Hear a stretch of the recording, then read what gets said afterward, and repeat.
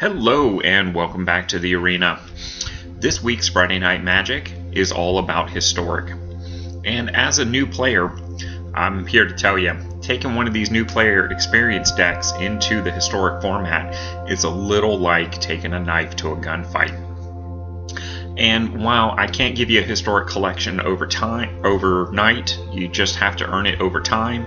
Uh, I can at least give you some tips and tricks to at least put a second knife in your offhand uh, and level the playing field just a little bit.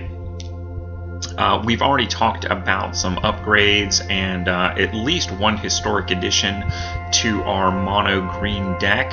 So today we're going to talk about the mono white option. Now I know we've talked about mono white before, and just as a quick refresher, it is intended to be a low to the ground uh, aggro deck with a lot of life link and life matters cards. Yeah, I know there's a lot of low hanging fruit here in the current political climate uh, about life matters, but uh, we're just going to sail right on past that.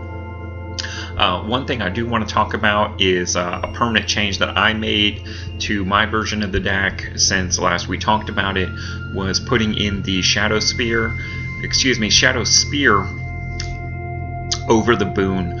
Uh, not only does it make the deck a lot lower to the ground as far as overall mana cost, um, but just seems to be a better fit for the deck overall. Now, our Black White Life Skills deck also leans very heavily into the Life Matters formatting. Uh, but having such an even split in the mana against the uh, much more robust and more consistent rare based mana bases for historic decks, leaning towards a, uh, a more monochromatic deck is going to give you a much more stable and consistent deck and hopefully allow you to steal some wins just off of that stability and speed. Uh, that having been said, I am still looking at some of the black cards that may be included in this deck, uh, just to punch up its uh, its X factor a little bit and be able to hit your opponents with something that they're not expecting. But with that in mind, let's look at some historic options. Uh, Life Matters tends to be a mono white or white based uh, centric ability. You do occasionally see it splashed into some other colors, but it generally is about the white cards. So, with that in mind, my suggestion is to pick up an uncommon Leonin Vanguard and sub that in for a berth. Uh, pick up a unbelievably good common in the Warden and uh, toss that in for the orator and uh, also to pick up a common moment of truth uh, for a Cloister. Uh, each of these are either just solid upgrades. Uh, in the case of the moment, uh, I think it gives you a nice combat trick that is going to catch some of these historic players off guard that just aren't used to seeing this deck. Uh, if you time it correctly, you can actually really mess up some combat mathematics, not only with the plus 2 plus 2, but depending upon what creatures you have on the board, the life gain can also affect other creature stats and uh, really hopefully get your opponent to have made some bad blocks. Now, when I factored in those new additions, it became apparent it still wasn't going to be quite enough to be competitive in a historic environment. So, went ahead and added in the cream of the crop on the black cards, still giving you about a 65% white mix on this deck uh, and about a 35% black. Uh, in other words, we're just splashing black here for the most effective, most impactful cards. And uh, I really think that is going to be enough to up your potential win percentage in Historic and give you a potentially good showing here as opposed to a night full of frustration. I am usually not a big fan of the common dual lands, but uh, these that come into play and give you a single life gain actually fit really nicely into this deck thematically and uh, I think earn a spot here and really make it a little bit easier for you to play two colors uh, where it's going to be about mana availability and not necessarily about tempo. Um, but moving on to the black cards, our intervention here is a nice top shelf removal spell with a splash of life gain. Um, instant speed and the X factor on this allows it to be useful at any point in the game where we draw it, which is really nice since we only have the one copy to work with.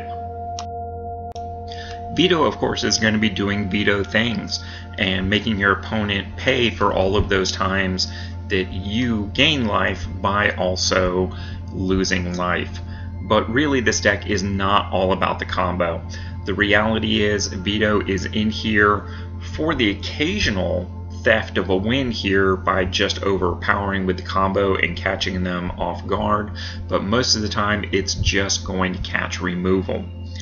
On the other hand, our Patrician is going to give you much more of that same combo effect, uh, but at an uncommon is less likely to catch removal, and the fact that you have three copies available for the deck makes it less likely that they're going to have enough removal to keep up with this particular piece.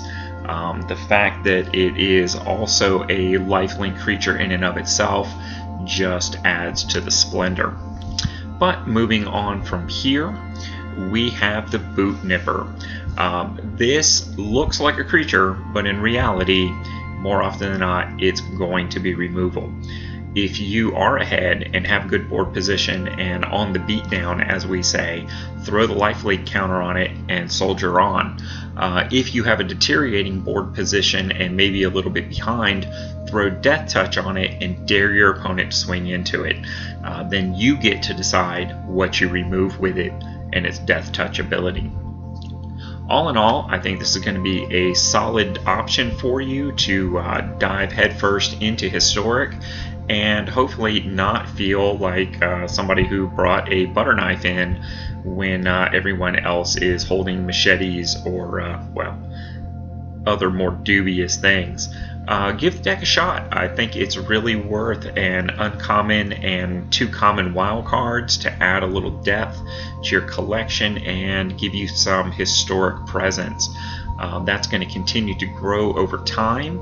Uh, at this point, I'm not seeing a strong enough black base in our new player experience collection to really recommend any black wildcard historic editions just yet.